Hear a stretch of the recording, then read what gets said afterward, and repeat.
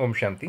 चौदह सितंबर के ईश्वर वरदान में आपका स्वागत है। परमात्मा कहते हैं, व्यर्थ संकल्पों के कारण को जानकर उन्हें समाप्त करने वाले समाधान स्वरूप हवा वेस्ट थॉट्स व्यर्थ संकल्पों को जानना है।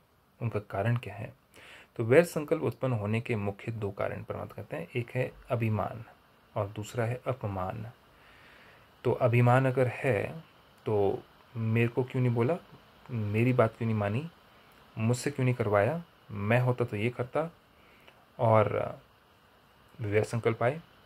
परमात्मा ने जिससे करवाया, जिसका रोल था, जिसका पार्ट था, जिससे करना था, जिससे करवाना था, परफेक्ट उसी से करवाया।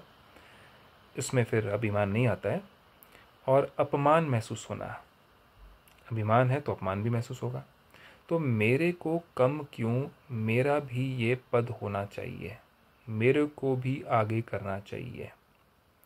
चाहिए चाहिए चाहिए। मतलब कि अभिमान है और क्योंकि नहीं करा जा रहा है आगे, क्योंकि पद नहीं दिया जा रहा है, इसलिए अपमान महसूस हो रहा है। तो इसमें या तो अपना अपमान समझते हो या फिर अभिमान में आते हो। नाम में, मान में, शान में, आगे आने में, सेवा में अभिमान या अपमान महसूस करना यही व्यर्थ संकल्पों का कारण है। सोचिएगा ध्यान से। अभिमान या अपमान महसूस करना, किसमें? नाम में, मान में, शान में, आगे आने में, सेवा में। अभिमान या अपमान महसूस करना यही व्यर्थ संकल्पों का कारण है।